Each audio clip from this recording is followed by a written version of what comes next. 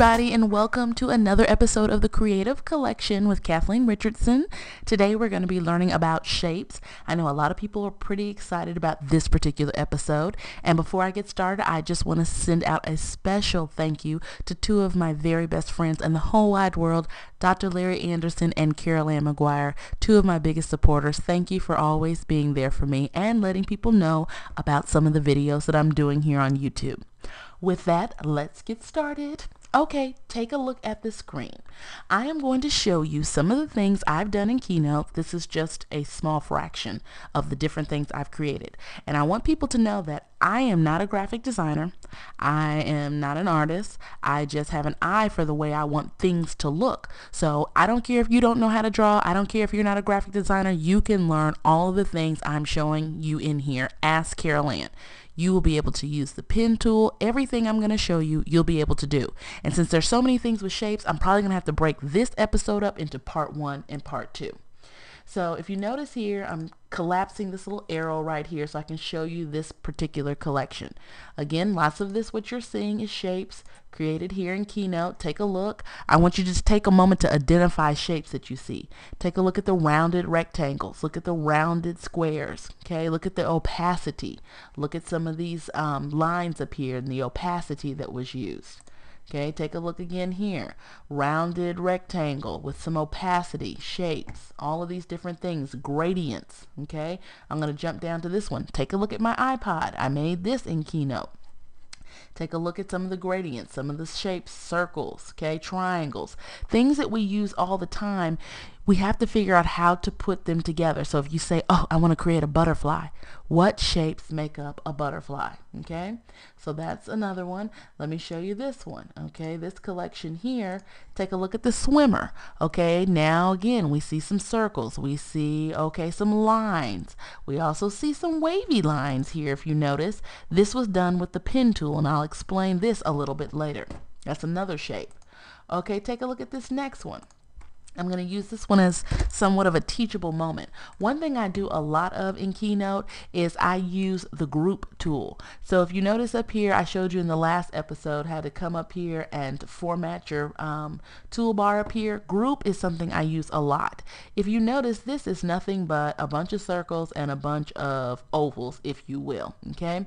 So number one, if I want this to go back to where it goes, I always use my oops combination key set and that's Command Z. Okay, Command Z undoes anything you've done. Okay, Command Z.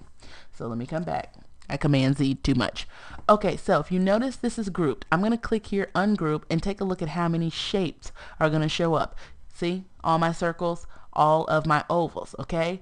Well, a quick way to highlight these things is to pull your mouse across all of them at one time. Now, if you get something in there you don't want, if you hold down the shift key and click on it, it will go away and it won't be a part of the group. When you click group and take a look, now I've got my group and I can move it wherever I want to go. Okay, the other thing I like to use is a function a lot of people don't use is the lock function, which is Command L. So let's say I'm using um, a lot of different pieces, a lot of different elements and shapes, and I just want to manipulate some. You know how you try to click on something and everything else moves?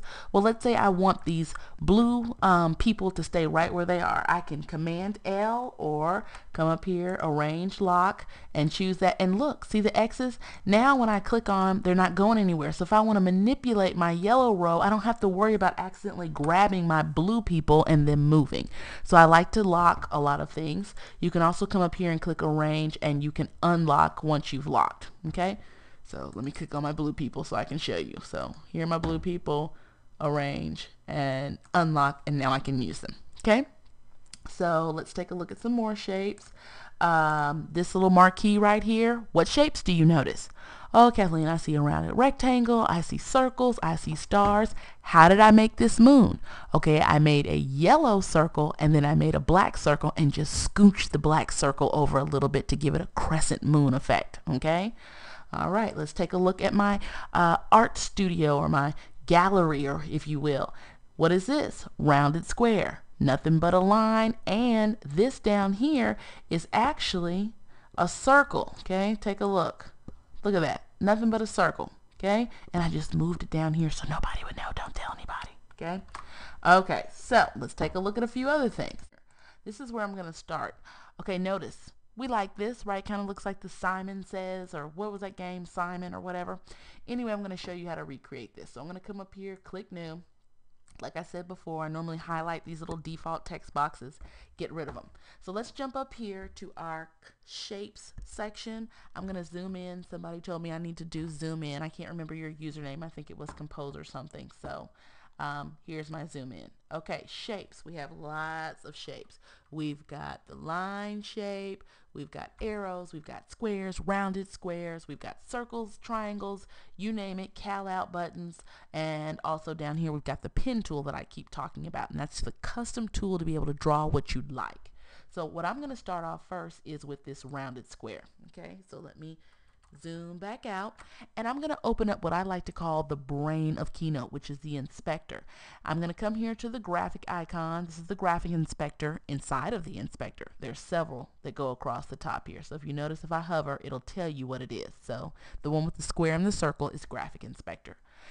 By default, a lot of times Keynote will make the image with a image fill in it. I don't want this image fill, so if I wanted to, I could come up here and choose none. I could choose color fill. And then remember this from last week with our color palettes, I can click right here on my color box, grab my magnifying glass and choose another color. Okay. If I like that color, remember I can drag and drop it down here so I can save it for another time. I can also do a gradient fill, which is two colors. So I'm going to come up here, grab that pink again, and I'm going to now take it down so I have like a shade or a hue darker of the original pink, right? Okay.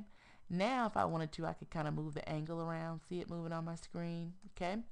I can also come here and do an advanced gradient skill. I don't really use this function too much, but I could choose the shade. Okay, I want it to be a little bit darker here, a little bit darker here. So you can come in here and do a little customization with your gradients. I could do an image fill. Um, I could come here, click choose, and navigate to something on my computer. I'm going to choose this blueprint JPEG, and now that is my image. You can't really see it because right now the function is tile. I could choose original size, and I still can't see it original size. If I hold down the shift key and pull this out, it will constrain the proportions. If not, we'll get the 300 pound baby. See? If you don't hold down the shift key, this is what happens. But if you hold the shift key, it'll constrain the proportions for you. So there's that um, original size of the blueprint. I could stretch, I could scale to fill, and I could scale to fit. So sometimes you have to play around till you get the one you like. I can also come down here and do a tinted image fill come here and choose any color that I want to give it a little tint and whenever you see these two colors like this diagonally on top of each other that means your opacity is not at 100%. Okay, well for this demonstration I'm just going to come do a color fill. Okay, and I am going to move this square up here and I'm going to make it kind of a rounded rectangle, right? Okay, I'm going to do Command C, Command V. That's Command C, Command V. That's to copy and paste. If you notice, we see our diagonal, so you know right away I've got some opacity on. I don't want that, so I'm actually going to delete this one and scoot this one over and start this one because I don't want any of my opacity turned down. Okay, so I'm going to copy and paste again. And so now I have this one here. I can just do paste again. And once you start doing paste, paste, paste, it will start to put them at equal um, increments across the screen. So just put a little FYI in your hat for that one. Okay, I like to play around too. If you notice this isn't quite the way we want it to look, take a look. I'm a little bit closer on some of these. So you can play around. I just wanted to kind of show you quickly how to copy and paste. But let's say I wanted them closer. So first of all, I'm going to make this a little bit bigger but this looks like it's taking up a little bit more than half the screen. So I'm going to scoot this one over, okay? And if you notice, take a look on the screen. You see it tells me my X and Y axis. For those of you who are really good with math, I'm not going to profess to be that great, but you can kind of look and kind of figure out. I do look a lot of times and say, oh, okay, 494. Okay, well then the next one needs to be at da-da-da-da-da-da. Okay, so you can kind of look at that. Okay, so I'm going to command and paste, and I'm going to take a look, and let's see. Now, you see that yellow line? That means that these are lined up perfectly. So it's not on point here, but if I scoot up, they're aligned horizontally. So I'm going to scoot this one over right there, but I still now I need a little bit more. So I'm going to pull this one in and I'm going to pull this one in. And do you see that down there? Take a look. It's 477 on the left, 477 on the right. Awesome. So I don't want to copy and paste two more times and then try to line this up. So watch what I'm going to do. I'm going to click one time on this one, hold down the shift key, and click on this one, command copy, command paste, and then just pull it down like this. Okay? You like that, don't you? I know. I think that's so cool. So what I know is these are perfectly centered because now you can see my yellow line running through the middle of the page. Now I could come up here and highlight these and move them up a little bit if I wanted to. And I could continue to play with these grid lines till it's the way I want it to be. Okay, I don't want these colors to all be green. So I'm going to click this second one. I'm going to click the color fill and I'm going to choose orange. Then I'll come down here and I'll choose blue and I'll come down here and I'll choose this color here. Okay, so let's take a look at a couple other things. Now, if you notice, if I want to move this one, it'll start to move. So what I can do is, remember the grouping? I can do Command A. If you notice, all of them are selected, and I can come up here and click Group, and now it's one group. Okay. Now I'm going to come over here, take a look. All right, we've got this black and we've got this white rounded circle or oval, whatever you want to call it. So I know right away I got to come up here and I got to choose my circle, right? And I need to change my image fill over here to a color fill and we're going to choose what? Black. So I'm going to pull this down. There's my black. Oh, you're starting to get it. And now I'm going to pull it up and out and then I'm going to center it on the page and center it horizontally and vertically. Now what I'm going to do is I'm not going to go up and grab another shape from up here. I'm going to simply do Command C, Command V. So here's my black. I'm going to come here and now I'm going to make this one white.